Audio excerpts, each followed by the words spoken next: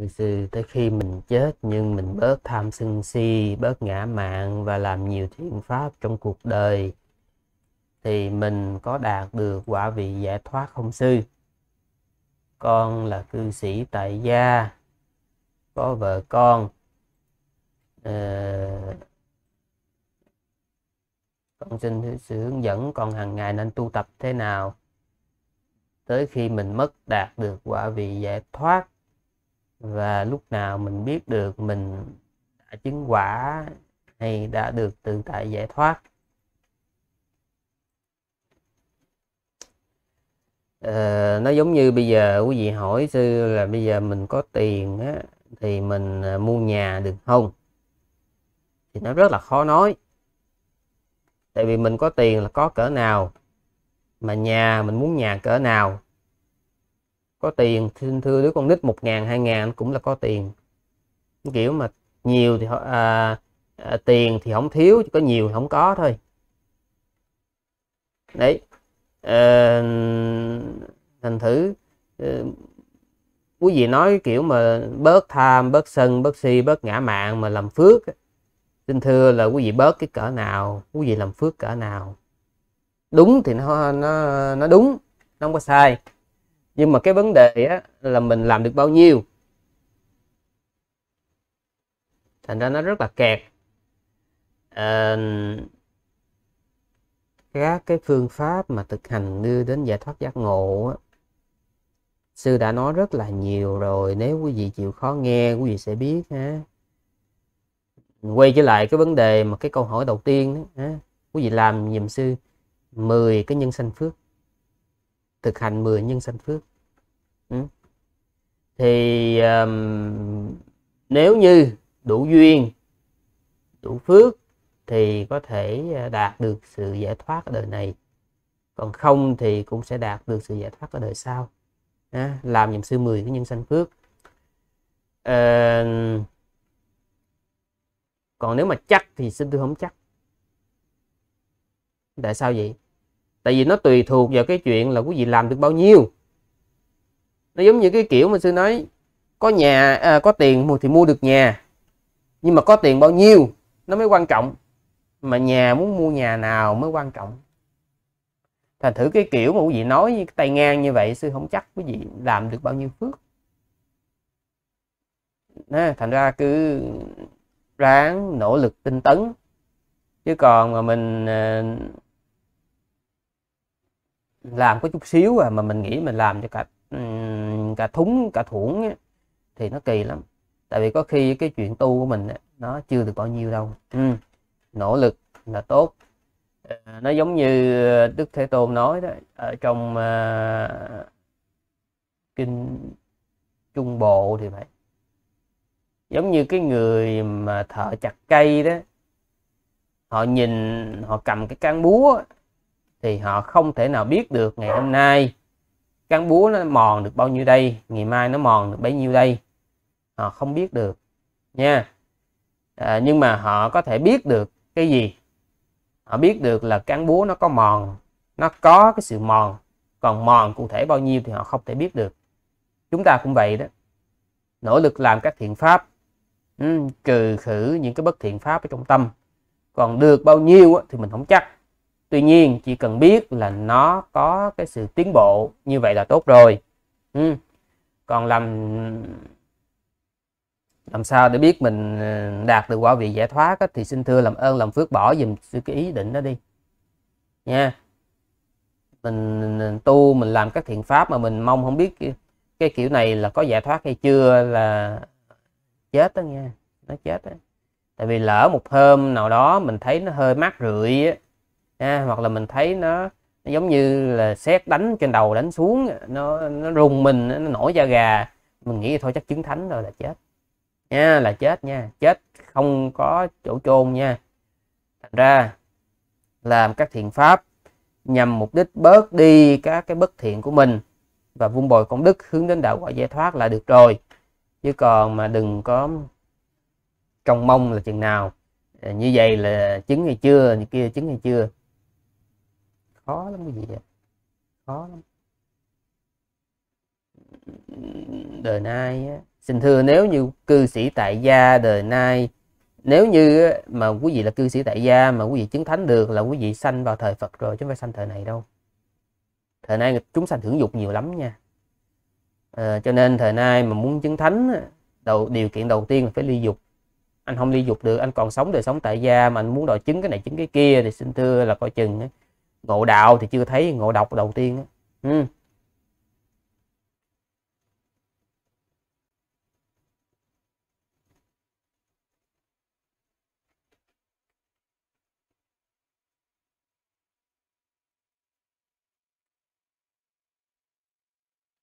Ờ, câu số 2 con muốn hỏi sư là khi tâm mình khởi lên các ác nghiệp nhưng thân khẩu không tạo ác nghiệp thì mình phải chịu quả báo thế nào và sư cho con cách để diệt trừ tâm ác khi khởi lên? Con muốn hỏi rằng thân khẩu ý cái nào chịu quả báo nặng nhất?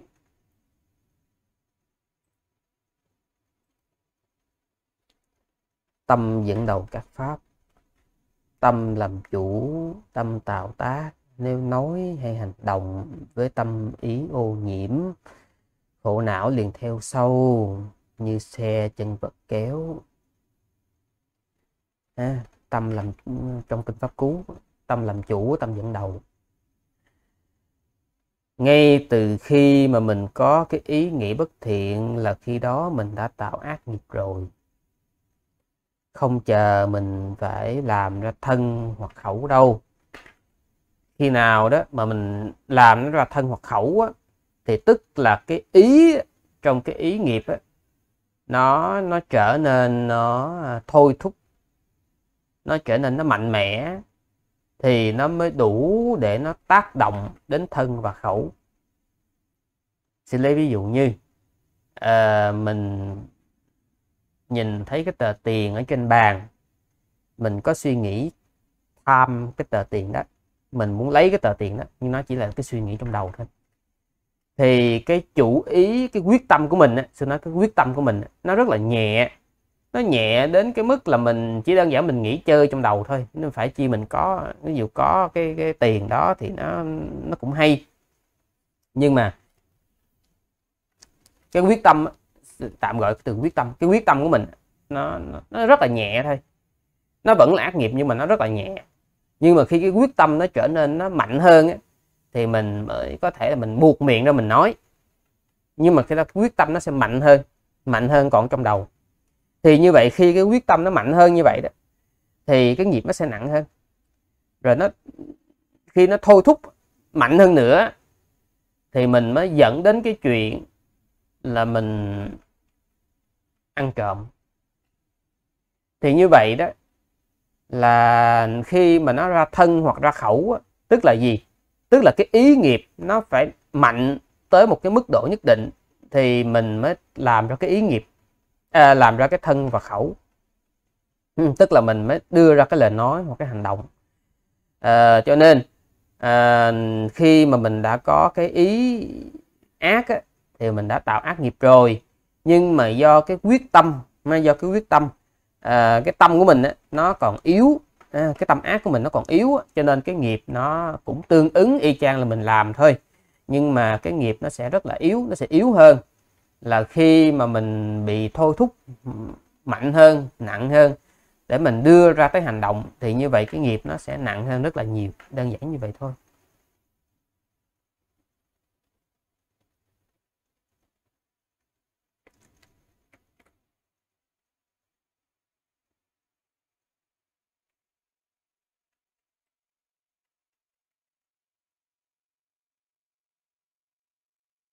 Con muốn hỏi sư rằng nhân nào quả nấy, vậy khi con tạo nhân ác xấu rồi con tích cực làm thiện, thì tới khi mình trổ quả những quả giống y chang cái nhân mình tạo không sư. Ví dụ cả đời mình giết ba con gà rồi sau đó tích cực làm thiện pháp, tới khi chịu quả báo mình có chịu quả báo đau khổ y chang cách mình làm khổ, mình giết ba con gà đó không? Nó khác nhau rất là nhiều à, thành thành thử có người họ nói như vậy giết gà thì mai mốt uh, làm gà mình bị giết. Uh, giết mũi mai mốt mình làm mũi mình bị giết. Như vậy muốn làm người thì phải giết người. Quý vị nghĩ cái, cái suy nghĩ nó có chết người không? Ừ? khi chúng ta tạo ác nghiệp là chúng ta cái chuyện đầu tiên cái chuyện đầu tiên là mình đi địa ngục trước cái đã. Dạ, bộ năm cái nghiệp bất thiện sát sanh trộm cắp tà dâm nói dối uống rượu là năm nghiệp đi địa ngục. Quý vị cứ, cứ nghĩ mình giết con gà giết con gà mà mình chui xuống địa ngục á nha. Mình chịu cái hình phạt ở dưới đó. Nó suốt từ thời Đức Phật quá khứ cho đến thời Đức Phật hiện tại, hoặc là từ thời Đức Phật hiện tại cho đến thời Đức Phật vị lai.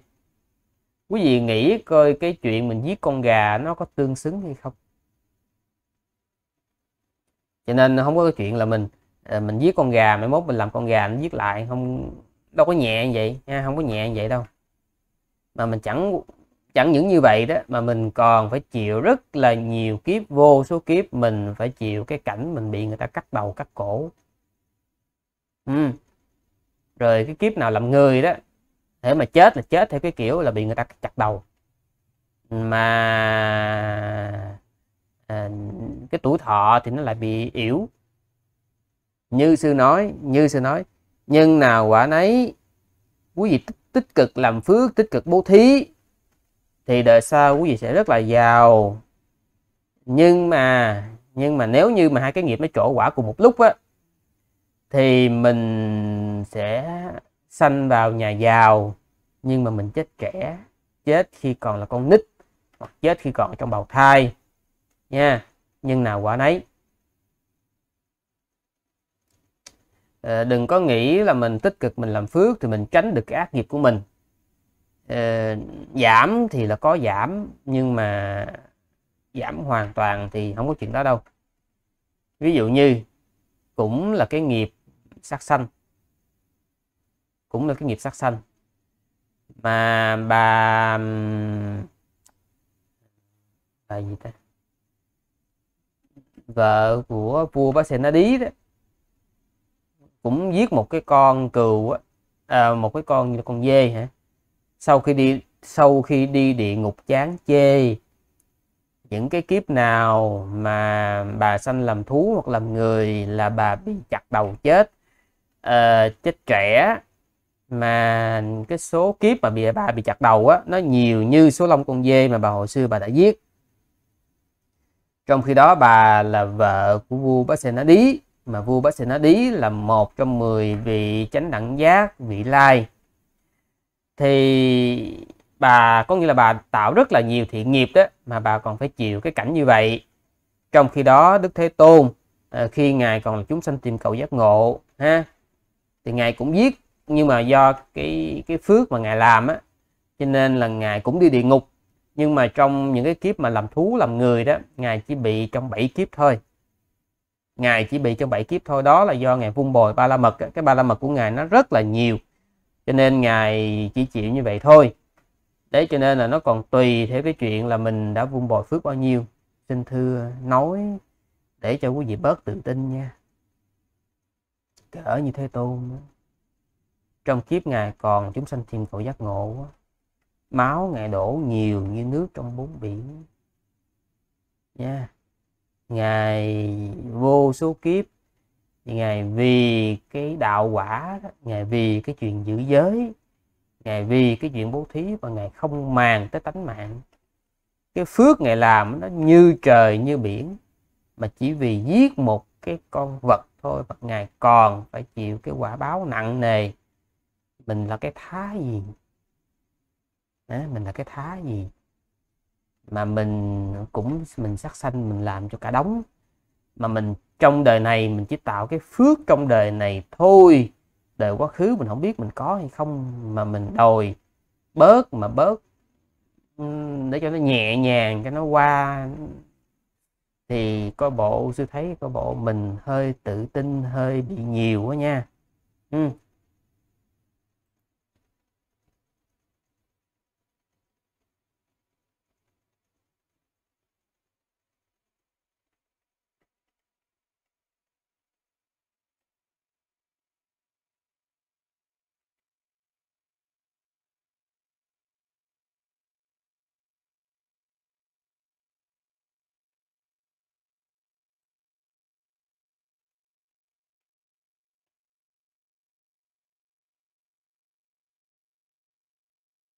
con muốn hỏi sư rằng khi mình bị người chọc giận hay chửi rủa hay gieo các nghiệp bất thiện với mình mình phát hiện được tâm sân nhưng mình vẫn khởi lên những ý niệm ác, rồi sau đó mình khởi tâm xả với đối tượng dù thân khẩu không nói hay hành động cả thì mình có chịu quả báo xấu không sư? Khi mình gặp những người bất thiện, mình không khởi được tâm từ, tâm bi với họ thì mình khởi tâm xả có tốt không sư là phàm phu kiệt chế, ức chế, nóng giận, khó lắm sư. Khởi tâm bi với họ càng khó nếu không thể khởi tâm từ tâm bi, tâm xả với họ có tốt không sư. Cái này sư đã trả lời rồi. Không nhớ được thì ráng chịu. Sư đã trả lời rồi. Ừ, câu số 5 con muốn hỏi sư rằng tổng sống thế nào để ít gây oan trái với chúng sanh?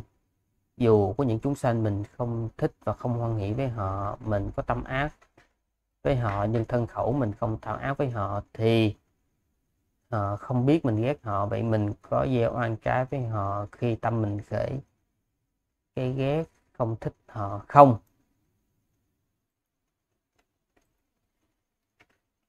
Khi mà mình có cái lòng nghĩ bất thiện về một người nào đó là mình đã có oan trái với người ta rồi.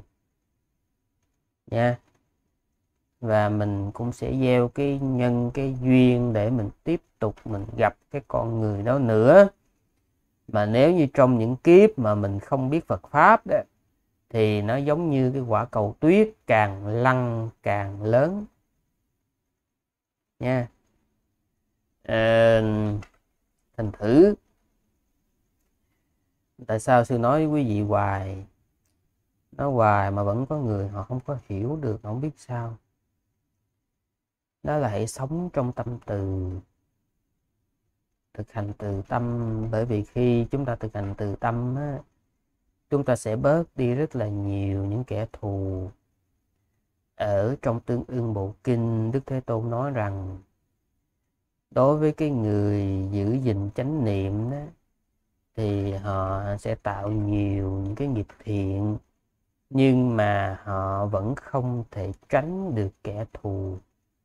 Chỉ có những ai ngày đêm thực hành tâm từ thì họ mới có cơ hội tránh được những kẻ thù. Do mình cũng không phải là cái người dễ thương cho nên người ta không có ưa mình. Và mình đã không phải là cái người dễ thương rồi, thì làm ơn, làm phước, ráng thực hành tâm từ đi. Bớt soi mối lỗi của người khác. Một trong những cái vấn đề của chúng ta đó là chúng ta thích nhìn lỗi của người khác mà không chịu nhìn lỗi của mình khi mình nhìn lỗi của người khác á, nó dễ đưa đến cái chuyện mình bất mãn. Chính bởi vì mình bất mãn rồi mình nhìn lỗi người cho nên mình sẽ không có là một người dễ thương. Mình không có ở gần người khác được người khác cũng không có muốn ở gần mình. Bởi vì á, mình cứ nhìn người ta mình nhìn cái lỗi người ta không à. Cho nên làm dùm sư hai chuyện. Thứ nhất là tránh nhìn lỗi người. Người ta như thế nào thì hay kệ người ta. Người ta sống ác là chuyện của người ta. Người ta bất thiện là chuyện của người ta. Không có dính dáng gì tới mình. Đừng có nhìn lỗi người. Bởi vì khi nhìn lỗi người, nó sẽ đưa đến cái chuyện khen mình chê người. Và nó đưa đến cái chuyện mình là cái người khó ưa. Đừng có nhìn lỗi người. Hmm. cái thứ hai ráng thực hành tâm từ. Nha. Còn cái chuyện đúng sai của người ta là chuyện của người ta. Sư đã hết sức sử dụng cái tâm từ và sự kiên nhẫn để sư trả lời quý vị trong cái vấn đề này rồi. Thì sư mong rằng làm ơn, làm phước đừng đem vấn đề này ra hỏi nữa. Bởi vì mình cứ hỏi đi hỏi lại hoài một vấn đề thì nó có nghĩa là cái sự hiểu của mình á, nó có vấn đề nha.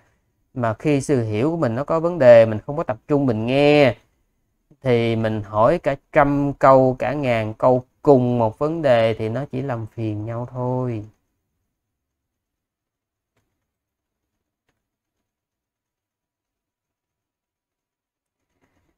Lấy cái câu số 6 này thì sư cũng đã trả lời rồi còn thấy muốn, khi thấy người làm việc bố thí nhưng gây đau khổ chúng sanh khác, mình nên khởi tâm hoan nghĩ hay khởi tâm gì với họ? Đấy, thì như sư nói rồi, khi thấy người ta làm ác, người ta làm chuyện bất thiện, người ta làm chuyện sai thì thay kệ người ta. Bớt cái chuyện nhìn lỗi người đi là mình sống khỏe nha. Nó nói riêng cái người hỏi, đang hỏi câu này đó quý vị không ý thức được rằng quý vị phiền não do quý vị cứ mãi nhìn lỗi người. Mà cái vấn đề này Đức Thế Tôn có dạy trong bài kinh này và trong bài kinh khác là khi mình cứ nhìn lỗi người hoài như vậy là mình cứ mãi đau khổ thôi và mình sẽ thành cái người khó ưa, người ta ghét mình là cái chuyện đương nhiên. Đừng có đổ thừa cho nghiệp. Và đừng có thấy là mình sống thiện, người ta sống ác. Nha, bỏ đi làm ơn, làm phước, bỏ đi cái chuyện nhìn lỗi người và lo thực hành tâm từ. Dùm sư còn cái chuyện người ta đúng sai là cái chuyện của người ta. Nha, thiện ác là chuyện của người ta. Ừ.